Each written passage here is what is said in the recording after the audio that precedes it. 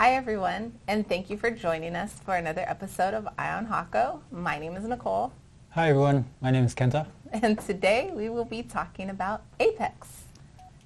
Apex 2020. Kenta, it's Friday, but you're a little We'll get delayed. We'll get through it.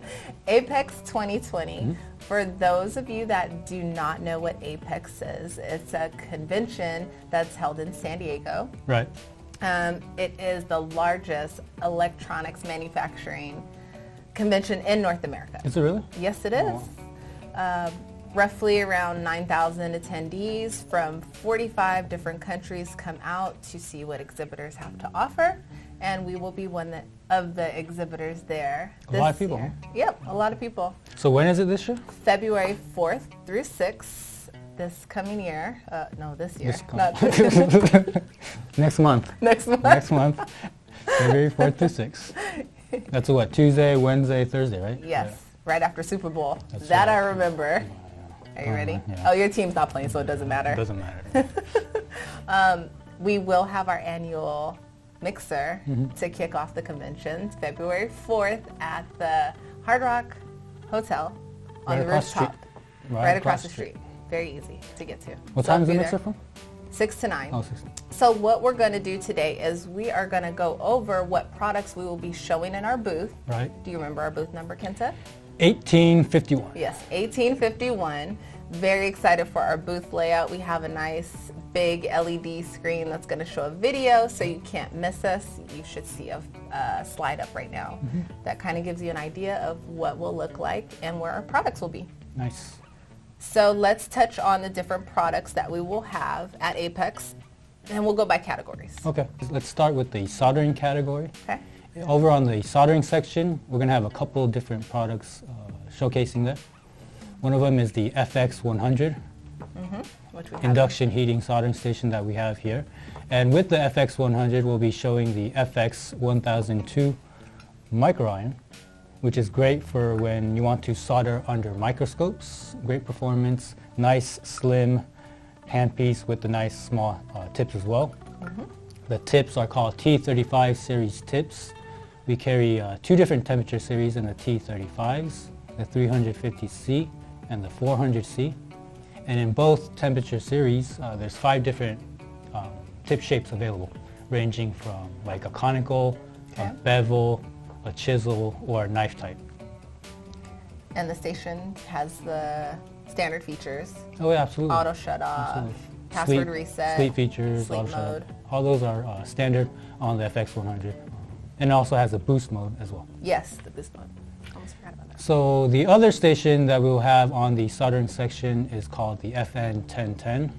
Which you should be seeing a slide up now to get an idea of what it looks like. It is our concept soldering station. And when you say concept, Mm-hmm. just explain to our viewers why we're saying it's a concept station. Uh, we call it concept right now because it's not yet available here in the US, but we want to get um, a feel for the market. That's why we're showing it here at Apex. Now the FN1010 has improved performance. It's a 100 watt soldering station with improved performance. And what it's good for is it's an IoT capable soldering station that can track your data. So it's great for traceability, data logging capabilities. And once you've attached the station to a PC, you'll be able to record um, different useful information such as tip temperature, uh, tip shape, for example, tip serial numbers, the amount of loads, and like the amount of time that you've been using a particular um, soldering iron tip. And the accessory that you can use the concept station with. Did you Oh, right. mention the The FG100B, Yep. it's, our, it's our tip thermometer that we released in 2019. Um, when used together with the FN1010 soldering station, um, you can take tip measurements, but you can, the station can automatically calibrate your tips when used together with the FG100B. Okay, so those are two stations that we'll have over at the soldering section. Over on the desoldering section, which we don't have a slide for, but mm-hmm. just to give you an idea of what will be on the table. Just to give you an idea, we'll have our FR410 140 watt desoldering tool, mm-hmm. and we'll also have our FR400 300 watt desoldering tool. So that's our desoldering. desoldering. And then we also have We also have our rework, our rework. rework section. And over in the rework section, we'll have a new rework fixture. Yes. We're going to show you a slide because we don't have the fixture on the table. Mm-hmm. It's called the HJ4000. Yep. Now the HJ4000, it's a rework fixture, so when used together with our uh, hot air tools such as the FR811 or the A10B and also our preheater like the FR872, um, it creates, it provides a low-cost manual reworking system. It's lightweight. Lightweight, Right. comes, it's a split, it uses a split vision Yes, prism important. system, comes equipped with its own camera, and it's a gantry style um, fixture. What type of components? Oh, good, I good think question. that's a good question. thing. We should let them know. So when um, you'll be able to accurately place components as large as 45 millimeters square, all the way down to one millimeter uh, square in size. Okay. And the actual movement, because it's a gantry system, it moves in the X, Y, Z, and also uh, theta rotation axis.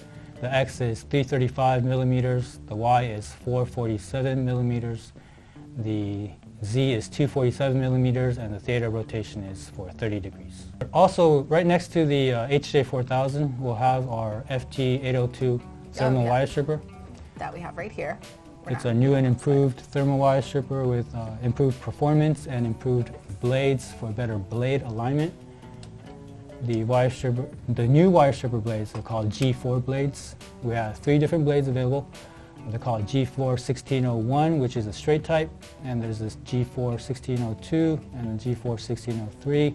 Those two are the notched versions of the blades, and they cover a range of 26 gauge all the way down to uh, 38 gauge size wire. And the station has the handpiece holder Has a built-in handpiece holder. to maximize your workbench space. Yep, and also has The a, uh, shields. the shields, For burn protection. and you'll be able to remove and replace your blades because it has a, uh blade removal tool built into the holder. Nice, easy way to carry your station, and it has built-in blade uh, Blade holder. blade holder. Did you say that? yes. I thought you it's. Friday, kids.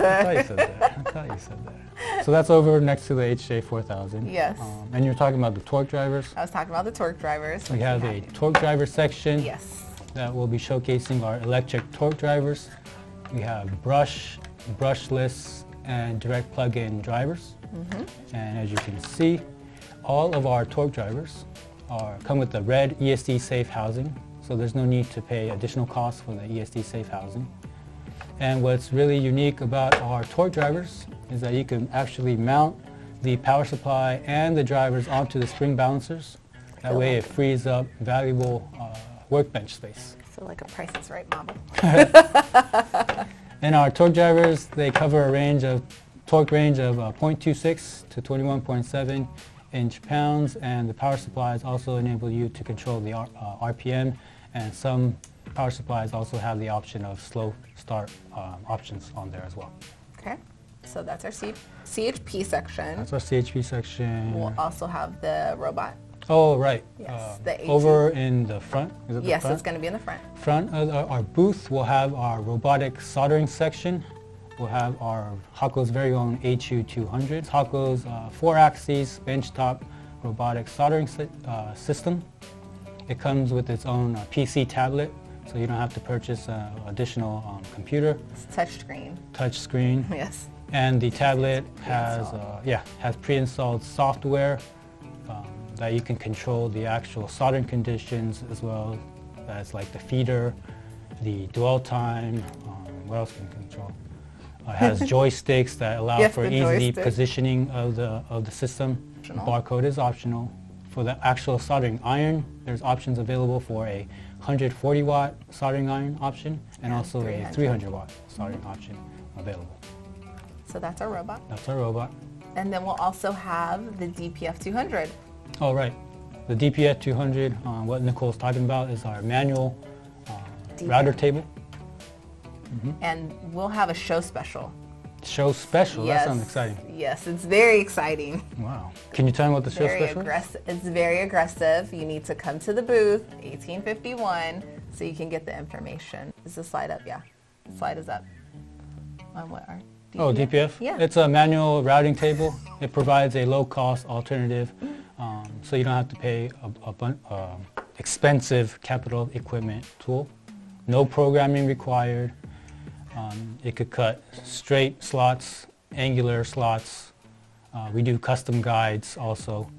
And what's special about the DPF is that it comes equipped with its own vacuum system. So all that PCB dust gets collected right at the source of the cut. Um, so there's no um, contamination. It's a safety feature. Are there um, specifications for the thickness of the PCB boards right, with um, the DPF 200? So standard, the max, uh, what do you call it? The thickness, thickness of the boards Yes. is 2.5 millimeters.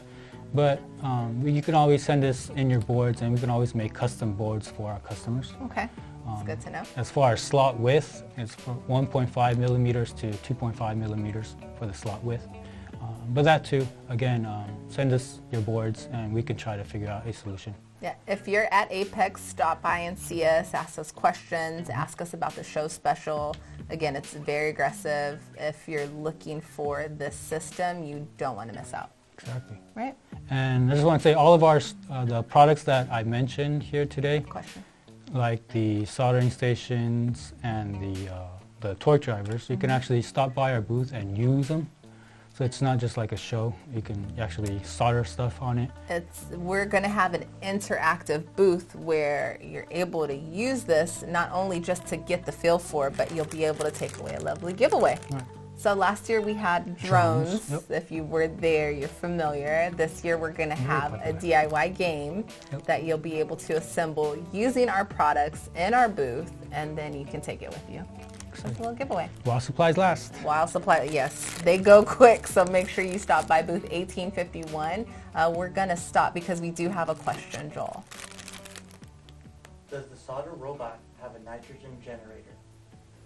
Does the solder robot have a nitrogen generator? So the HU200, the soldering robot itself doesn't have a nitrogen generator, but we have op- options available that you can hook up a nitrogen generator, that you can use a nitrogen system with the HU200. Nice. All right. What else? Did we cover everything that we're gonna? The mixer. Yes. The mixer. That's Yes. Kenta reminding me to remind you that we have our annual mixer February 4th at the Hard Rock Hotel Yep. on the rooftop from, do you remember the time? Six to 9. From nine 6 to 9. at the Hard Rock Hotel. I said that, Kenta. Thank you for watching. Thank we you, hope to see you all at Apex 2020 in San Diego from February 4th through 6th and at our mixer. So until next time, Kenta has nothing else to say. Nope. No? That's it. I'm ready. Until next time, make sure you remember keep your eye on Hakko.